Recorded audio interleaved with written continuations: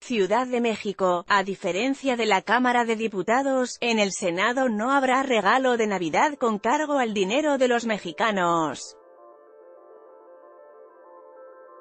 Ricardo Montreal, presidente de la Junta de Coordinación Política de la Cámara Alta, aseguró que cada uno de los senadores pagará el impuesto sobre la renta, ISR, por concepto de aguinaldo.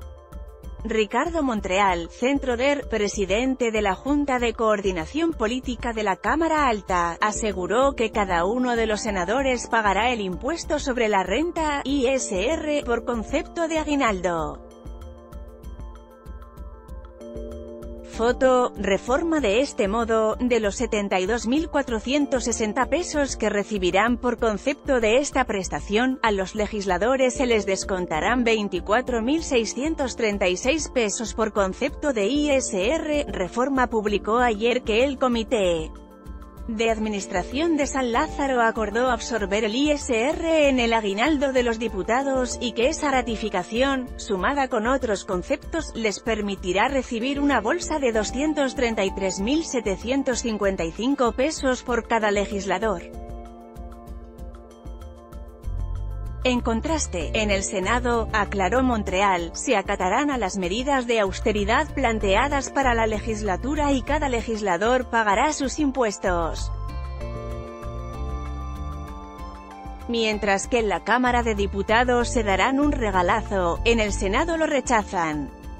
Foto, reforma, los senadores vamos a pagar el impuesto sobre la renta cada legislador. Mal sería que en casa de herrero, azadón de palo.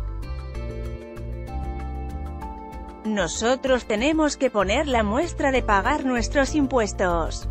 Incluso, en el plan de austeridad, recuerden que se pagaban impuestos, planteó el coordinador de Morena. El coordinador de Morena dijo que se respetan los puntos de vista de otros grupos parlamentarios pero esta vez se acatarán las medidas de austeridad. En una iniciativa firmada por el coordinador de la bancada del PAN, Rafael Moreno Valle, DER, se pide que haya respeto a las prestaciones de los empleados de la Cámara Alta, incluidas las de los legisladores. Foto, reforma Las bancadas del PRI y del PAN en la Cámara Alta se manifestaron en contra de que los trabajadores del Senado, incluidos los legisladores paguen el ISR, con el argumento de que hacerlo trastocaría garantías laborales. Miguel Ángel Osorio Chonaz coordinador de los priisetas, recordó que ya hubo un recorte a esta prestación al reducirla de 80 a 40 días de aguinaldo, nosotros estamos de acuerdo en la austeridad, en lo que no vamos a estar de acuerdo es en que se lastimen los derechos adquiridos por las y los trabajadores que están aquí en el Senado y que les reconocemos todos sus derechos para que este Senado camine de la mejor manera, planteó el priista.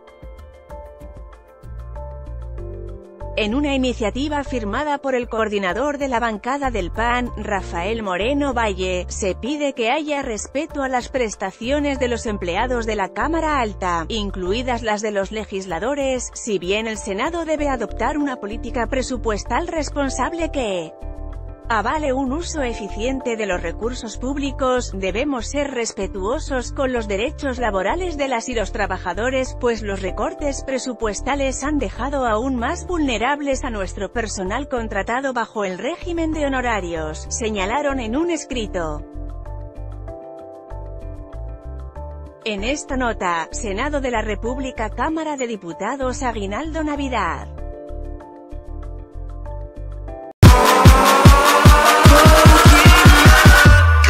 some more.